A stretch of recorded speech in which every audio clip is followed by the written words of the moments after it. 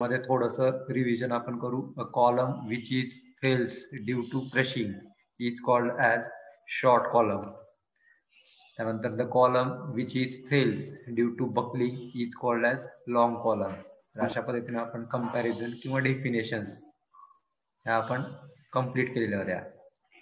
त्यानंतर while designing the short column only crushing stresses are considered आणि long कॉलममध्ये while designing the long column only bending stresses are considered तर generally bending हा word आपण बीममध्ये utilise करणार आहोत आणि बकलिंग हा वर्ड आपण कॉलममध्ये युटिलाइज करणार आहोत. तर बकलिंग आणि बेंडिंग दोन्हीचा अर्थ तोच असणार आहे डिफ्लेक्शन त्यानंतर third the slenderness ratio is less than thirty for short column. For long column, the slenderness ratio is greater than 100.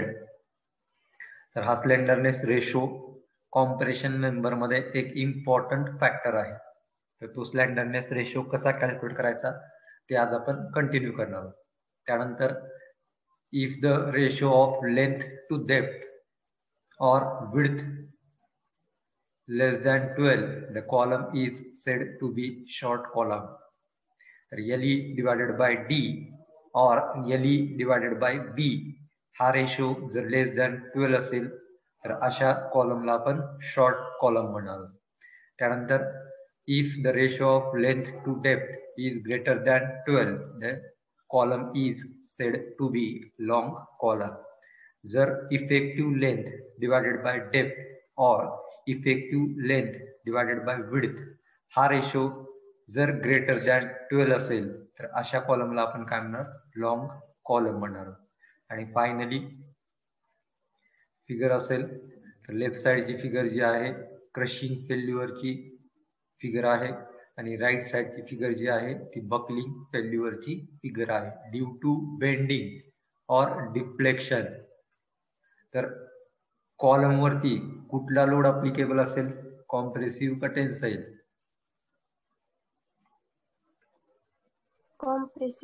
तर कॉलम वरती तुमचा कॉम्प्रेसिव्ह लोड हा ऍप्लिकेबल असेल. म्हणजे टॉप साइडनं डाऊनवर्ड फोर्स असेल बॉटम साइडनं अपवर्ड फोर्स असेल. तर दोन्ही साइडनं कॉम्प्रेसिव्ह फोर्स असल्यामुळं कॉलम कडे इलॉंगेशनचे चान्सेस आहेत का?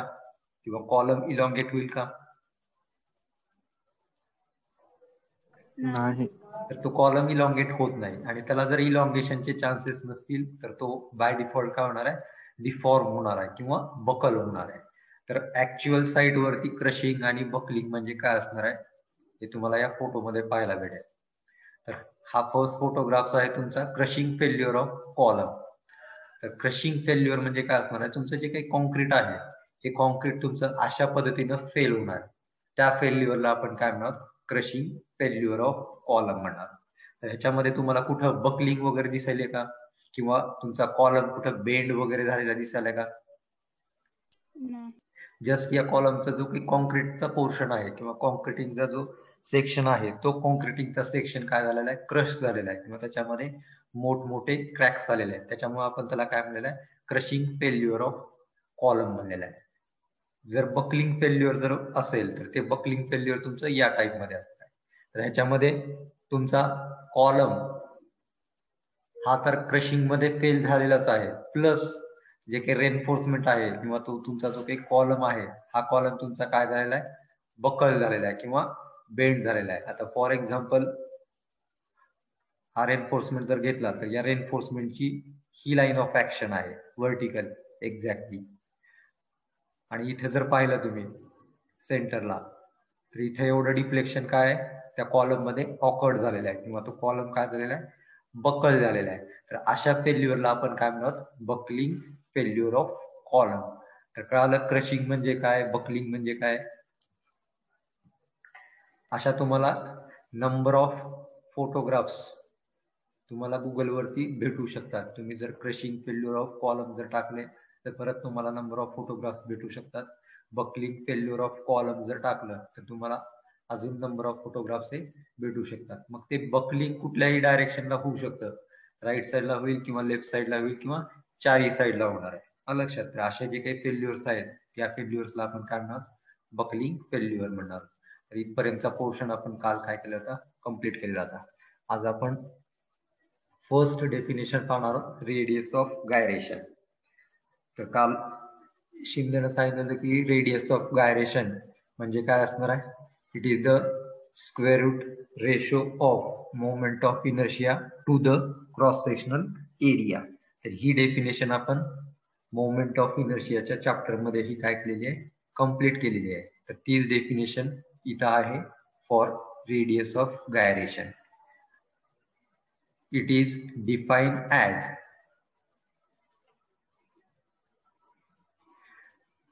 the ratio of square root of moment of inertia to the cross section area. It is denoted by small k or small r. तर it is the ratio of square root of तर square रूटमध्ये ratio घ्यायचा आहे लक्षात K is equal to formula येणार तुमचा square root I divided by A तर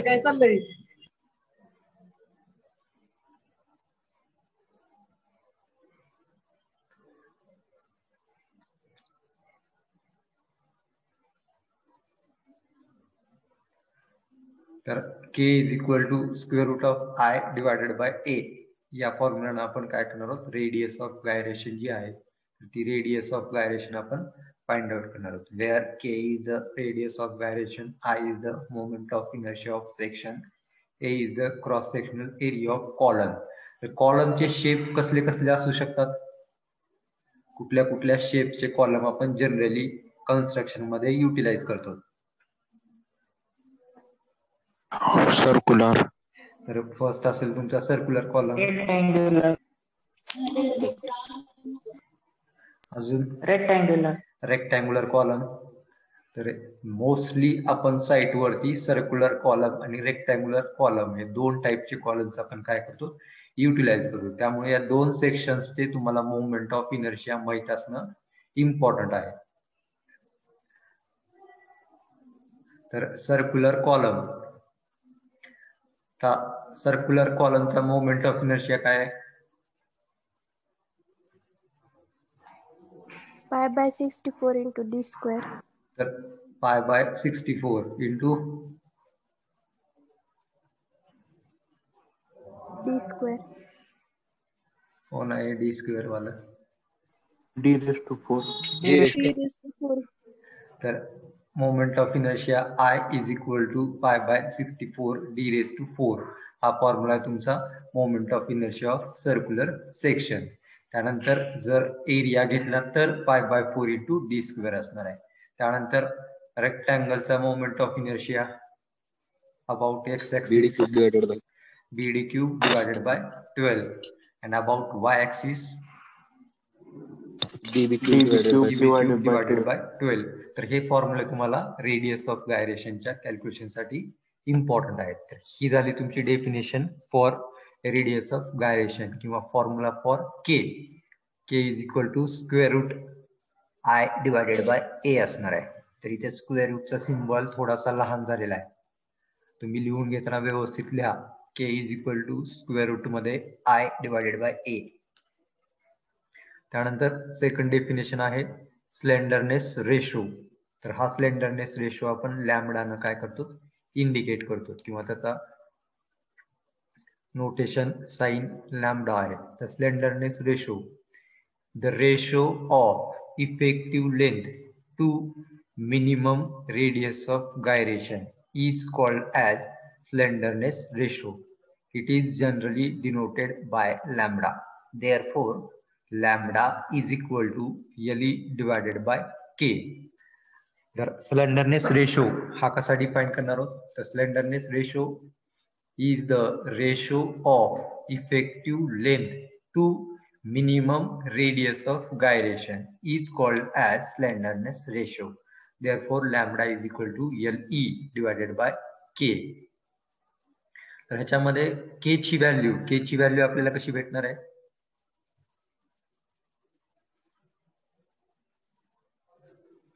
के कसा find root I by A तर स्क्वेअर रूट किंवा under root I by A या फॉर्म्युला आपण काय करणार आहोत? के ची व्हॅल्यू फाइंड आउट करणार आहोत. तर के घेताना आता फॉर एक्झाम्पल रेक्टँगल आहे.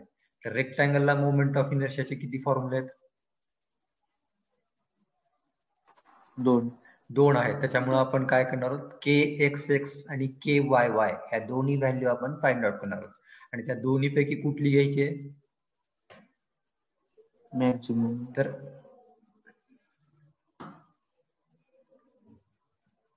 कुठली व्हॅल्यू घ्यायची दोन्ही पैकी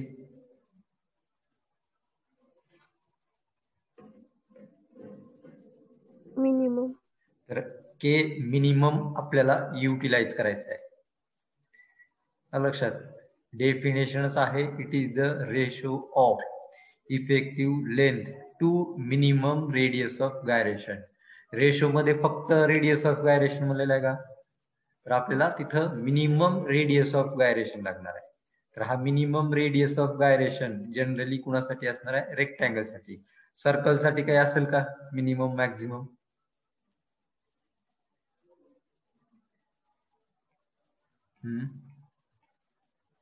सर्कलमध्ये येईल का मिनिमम तर सर्कलमध्ये दोन्ही फॉर्म्युले आय एक्स एक्स आणि आय वाय वाय या दोन्हीसाठी काय फॉर्म्युला तुमचा?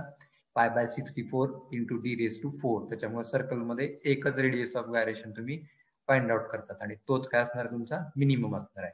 पण रेक्टँगलमध्ये काय असणार आहे तुमचे?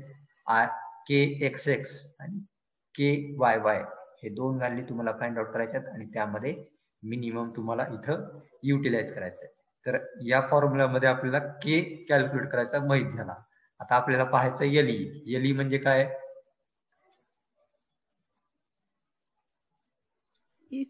तर एल तर आहे इफेक्टिव्ह लेंथ ऑफ कॉलम तर ही इफेक्टिव्ह लेंथ ही डिपेंड असणार आहे तुमच्या एंड कंडिशन्स ऑफ कॉलम वरती. तर एंड कंडिशन्स म्हणजे काय ते पाहू आपण. तर effective length of column LE it is define as distance between two successive zero moment point in column It is defined as distance between two successive zero moment point in the column. The effective length of column depends upon the end condition of column. तर generally effective length ही कशाला म्हणणार आहोत आपण the distance between two successive zero moment points in column तर आपण for example बीम्सचे problem सोडवले आहेत S F D आणि बीएमडी बरोबर आहे? तर त्या बेंडिंग मोमेंट डायग्राममध्ये काही ठिकाणी आपलं बेंडिंग मोमेंट काय होत होतं? झिरो होत होतं. बरोबर आहे? हो तर for example simply supported beam घेतला. तर सिम्पली सपोर्टेड बीममध्ये बेंडिंग मोमेंट कुठं झिरो होत होतं? किंवा असत होतं? फर्स्ट पॉइंटला आणि फर्स्ट पॉइंट. आणि लास्ट पॉइंट तर हे जे दोन पॉइंट आहेत सक्सेसिव्ह सक्सेसिव्ह म्हणजे काय? एकमेकाला लागून येणार. आहे म्हणजे फर्स्ट झिरो पॉइंट आणि लगेच दुसरा झिरो पॉइंट तर असे जे सक्सेसिव्ह झिरो मोमेंट पॉइंट असतील त्या दोन पॉइंट मधलं डिस्टन्स म्हणजे काय असणार आहे? इफेक्टिव्ह लेंथ ऑफ कॉलम असणार आहे. जनरल डेफिनेशन काय इफेक्टिव्ह लेंथची तुम्ही फर्स्ट इयरमध्ये ग्राफिक्समध्ये किंवा बिल्डिंग कन्स्ट्रक्शनमध्ये पाहिलेली असेल इफेक्टिव्ह लेंथ फर्स्ट इयरमध्ये ग्राफिक्समध्ये तुम्हाला clear span effective span total length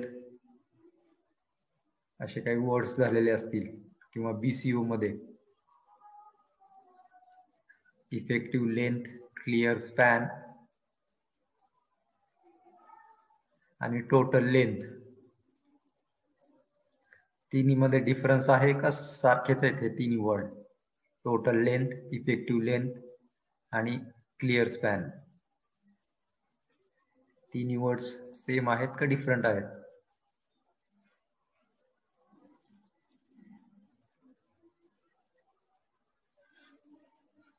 बोला चूक असेल किंवा बरोबर असेल.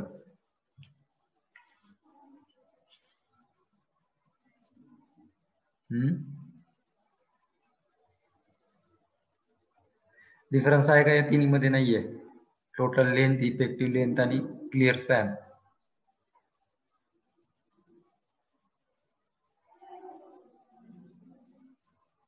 in general civil engineering in terms of मॉस नाही.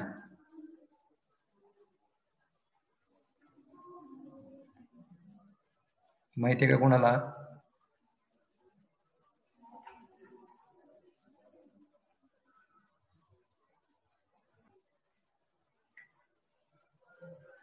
तर effective length it is define as distance between two successive zero movement points in the column त्याला आपण इफेक्टिव्ह लेंथ म्हणणार आहोत आणि effective length of column depends upon the end condition of the column तर या एंड कंडिशन्स कुठल्या कुठल्या आहेत? तर फर्स्ट एंड कंडिशन आहे बोथ एंड्स आर हिंजड तर बोथ कॉलमचे दोन्ही एंड्स जर हिंज केलेले असतील तर अशा सिच्युएशनला इफेक्टिव्ह लेंथ आपल्याला काय घ्यायचे?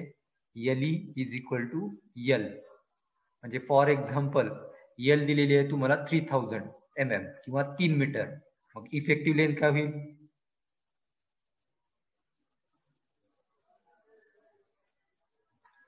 एल दिलेली आहे थ्री मीटर तर या फॉर्म्युल्यानुसार इफेक्टिव्ह लेंथ किती असेल? For both ends are hinged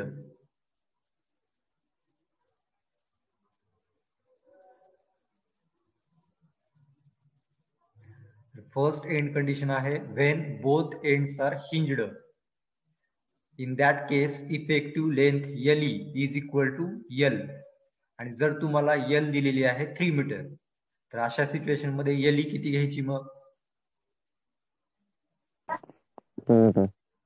तर एल इज इक्वल टू काय घ्यायचे? थ्री मीटर तर हिंज कॉलम्स हे आपण इथं दाखवलेले बघा डॉटेड न. तर इथे एक डॉट आहे आणि खालती एक डॉट आहे. तर असे डॉट जे काही मेन्शन केलेले असतील फिगरमध्ये त्याला आपण काय म्हणणार? हिंजड म्हणणार. त्यानंतर सेकंड कंडिशन पाहू आपण.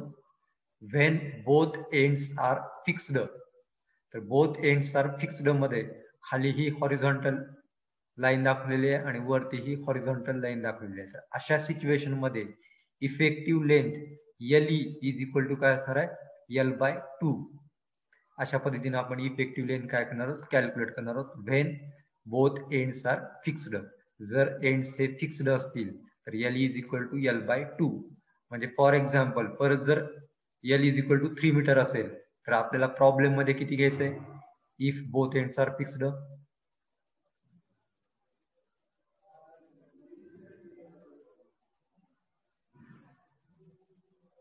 if L is equal to 3 meter and given condition, given end condition is both ends are fixed. Then calculate effective length of column. 1.5 तर L is equal to काय येईल? वन पॉईंट फाईव्ह येईल. हा लक्षात तर अशा पद्धतीने या कंडिशन्स आपल्याला इफेक्टिव्ह लेंथ कॅल्क्युलेशनसाठी युटिलाइज करायचे. म्हणजे तुम्हाला प्रॉब्लेममध्ये एंड कंडिशन ही दिली गेलेली असणार आहे. त्या एंड कंडिशन वरनं एल तुम्हाला कॅल्क्युलेट करायचं आहे फर्स्ट स्टेपमध्ये. प्रत्येक प्रॉब्लेममध्ये फर्स्ट स्टेपमध्ये तुम्हाला एल ई हा इम्पॉर्टंट आहे. एल ई शिवाय तुम्हाला लॅमडा भेटेल का? Slenderness ratio. लॅमडाचा फॉर्म्युला काय?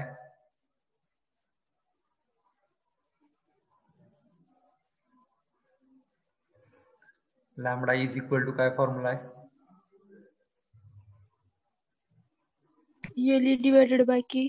तर L E divided by K त्याच्यामुळे आपल्याला एल ई हे कॅल्क्युलेट करायचं त्यानंतर थर्ड कंडिशन आहे one end fixed and other end is hinged म्हणजे एक साइड कॉलमची फिक्स असेल आणि ऑदर साइड कॉलमची हिंज असेल. तर इथं काय बॉटम साइड ही फिक्स केलेली आहे आणि टॉप साइड ही काय हिंज केलेली आहे. तर अशा कंडिशनमध्ये एल इज इक्वल टू काय असणार आहे? L divided by root two म्हणजे थ्री मीटर जर असेल तर थ्री बाय रूट टू हे घेऊन तुमची जी काही एल ई येईल ती एल ई आपल्याला पुढे काय करायचे ऑदर कॅल्क्युलेशनसाठी युटिलाइज करायचे त्यानंतर फोर्थ कंडिशन आहे one end fixed and other end is free तर इथं बॉटम साईडचा एंड काय केलेला आहे? फिक्स केलेला आहे. आणि ऑदर साइडचा एंड काय तुमचा फ्री आहे. तर अशा सिच्युएशनमध्ये एल इज इक्वल टू काय येणार आहे? टू इंटू एल म्हणजे for example if length of column is three meter and column has one end fix and other end is free calculate effective length असं जर असेल तर एल इज इक्वल टू काय येईल मग? सिक्स मीटर येईल. तर अशा पद्धतीने या कंडिशन्स आपल्याला काय करायच्यात? प्रॉब्लेम मध्ये युटिलाइज करायच्यात. तर या चार कंडिशन्स या इम्पॉर्टंट आहेत. त्यानंतर नेक्स्ट आहे फॅक्टर ऑफ़ सेफ्टी तर factor of safety is the ratio of design load or buckling load to the safe load. Therefore, FOS is equal to buckling load divided by safe load. त्यानंतर safe load, it is the ratio of design load or buckling load to the factor of safety. तर हा FOS चा formula आपण काय केलेला आहे? Alternately use केलेला आहे. पहिल्यांदा आपण F O S factor of safety is equal to buckling load or design load divided by safe load or working load buckling लोडला काय काय नाव आहेत? तीन नाव आहेत. एक आहे डिझाईन लोड दुसरा आहे बकलिंग लोड आणि तिसरा आहे क्रशिंग लोड किंवा क्रिपलिंग लोड हे सर्व म्हणजे तुमचे लोड्सच असणार आहे design divided by safe load आणि लास्ट आहे design load therefore design load is equal to safe load into factor of safety. तर तुम्ही वरचा एकच फॉर्म्युला जर लक्षात ठेवला एफ ओ चा या एफ ओ एस वरनं तुम्हाला सेफ लोड कॅल्क्युलेट करता येते याच एफ ओ एस च्या फॉर्म्युल्यानं तुम्हाला डिझाईन लोड पण कॅल्क्युलेट करता येते बरोबर आहे का? F O S is equal to buckling load divided by safe load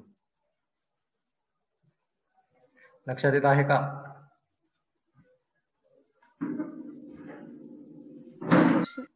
आपल्याला प्रॉब्लेममध्ये डिझाईन लोड किंवा सेफ लोड हेच कॅल्क्युलेट करायचे आहे. प्रॉब्लेममध्ये तुम्हाला फॅक्टर ऑफ सेफ्टी दिली जाते.